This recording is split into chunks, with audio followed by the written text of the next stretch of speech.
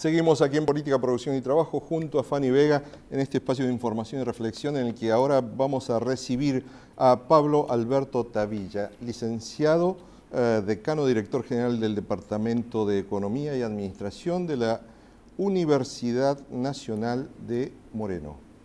Muchas gracias por estar aquí en Política, Producción y Trabajo. Gracias a ustedes eh, por invitarme.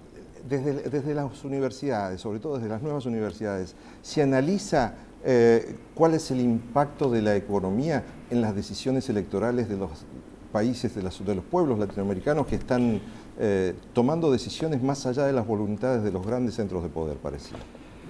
Exactamente. Eh, nosotros, digo, en las universidades tenemos un fuerte compromiso de formar y de generar espacios de reflexión tratando de superar ese viejo concepto de universidad aislada. ¿eh? Las universidades somos autónomas, pero no podemos estar aisladas de nuestra realidad. ¿eh? Y bueno, nosotros en particular, hoy entre otras cosas veníamos a contar que la semana que viene hacemos un congreso precisamente sobre economía política internacional.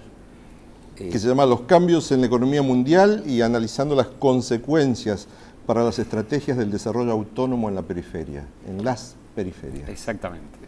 ¿Y eso qué, vendría a significar para aquellos que tienen que pensar en la economía, en la economía que viene? ¿Hacia dónde va la economía con tanto ruido que se escucha últimamente? No, no, exactamente. Eh, a ver, eh, las vinculaciones externas eh, a lo largo de toda la historia de los países como los nuestros, países periféricos, ha sido decisivo en la, en la configuración misma de la, del sistema socioeconómico que tenemos, de la estructura productiva.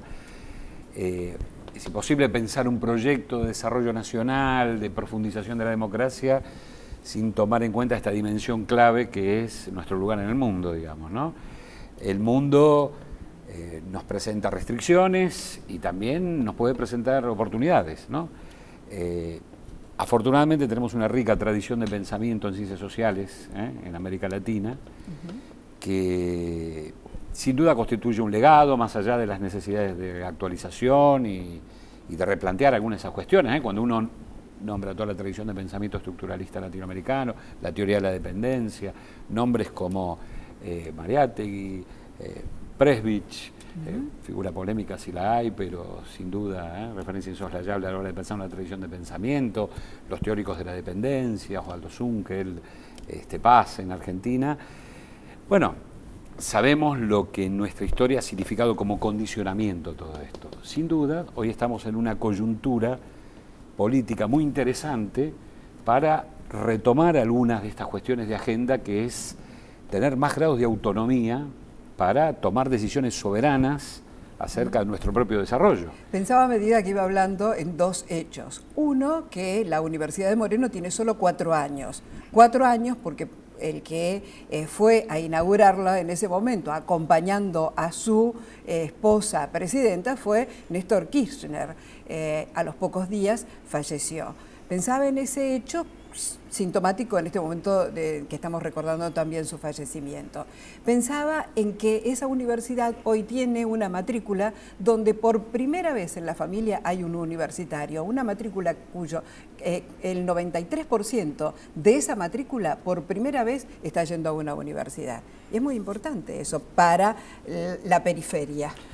Sin dudas, por lo menos para lo que pensamos que la educación es un derecho humano. ¿eh? Esto no, es una obviedad porque hemos discutido muchas cosas. Este, se sigue discutiendo en Argentina algunas cuestiones donde a veces parece que la educación sería un, fuera un gasto, digamos. ¿no? En este importante proceso de expansión de derechos que se viene dando en Argentina eh, en los últimos años, sin duda esto es parte, eh, hay que verlo en ese marco de decisión política de seguir expandiendo derechos y de, por supuesto, formar, eh, lo digo en léxico un poco tecnocrático, pero formar esa masa crítica que es la que tiene que replantear eh, nuestro desarrollo, digamos, ¿no? Y retomar estas banderas de la autonomía, ¿eh? de estos, estos conceptos que para mucha gente han quedado obsoletos, ¿no? Centro-periferia, dependencia, ¿por qué no imperialismo, ¿no? Que parece que es una palabra eh, que, que suena feo. Son conceptos sin ninguna duda que son ricos para, como punto de partida para plantear nuestras cuestiones. Nosotros vivimos en economías donde nuestro Producto Bruto interno es mucho más grande que nuestro Producto Bruto Nacional a partir de la sangría de recursos que tenemos. ¿eh? Entonces, sin dudas, este, nosotros como universidad tenemos que comprometernos activamente en esto que es el proyecto de desarrollo. Estas universidades creadas durante la gestión del kirchnerismo, ¿son una herramienta de inclusión social realmente para la sociedad argentina? Contundentemente sí, contundentemente sí. Representa un gran desafío, ¿no? Eh, conciliar eh, la calidad con la masividad. ¿eh? Es un desafío no fácil de resolver, pero nosotros decimos, ya sabemos, viejos teóricos, ya, ya Pierre Bourdieu en los años 60 lo planteaba para Francia, ¿no? esta cuestión de que la universidad no puede seguir reproduciendo desigualdad. La universidad tiene que plantearse estas cuestiones. Nosotros somos una generación, la generación de Universidad del Bicentenario, que se está planteando estas cuestiones. Y bueno, los números están a la vista. ¿Y quiénes son quienes van a discutir los cambios en la economía mundial y las consecuencias para las estrategias del desarrollo autónomo de las periferias? ¿Qué personalidades del mundo económico, del pensamiento económico van a estar allí? Ah, bueno, eh, nuestro congreso de la semana que viene es el 5 y 6 de noviembre. Este, vienen personalidades del exterior. Eh, hemos tenido presentación de un montón de académicos de 22 universidades del país y del exterior.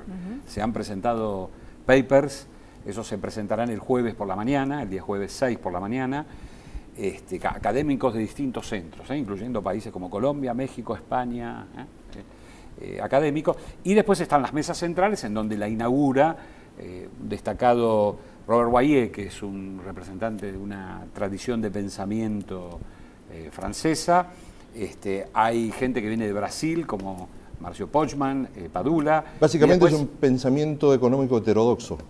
Es una buena, sí, es una manera de definirlo, exactamente, es alternativo y es, nosotros damos mucha cabida, en realidad nosotros somos, estamos comprometidos con el pluralismo ¿eh? en la formación y en la reflexión y desde ya no, han tenido cabida estas... ¿Y quién va a estar a cargo del cierre del, del seminario? Eh, vamos a contar con la presencia del ministro de Economía. Eh, por lo menos, eh, salvo surja algún imprevisto en su último momento, pero él es Axel Kicillof. Bien. Entrada libre y gratuita, ¿no? Entrada libre y gratuita y, bueno, sí, abierto y los esperamos la semana que viene. Y gracias por poder... Pablo Alberto Tavilla, muchas gracias por estar aquí en Política, Producción y Trabajo, hablándonos del rol de las nuevas universidades en este proceso democrático argentino que todavía estamos consolidando. Eh, con usted nos reencontramos la semana próxima para seguir hablando aquí junto a Fanny Vega de política, producción y trabajo.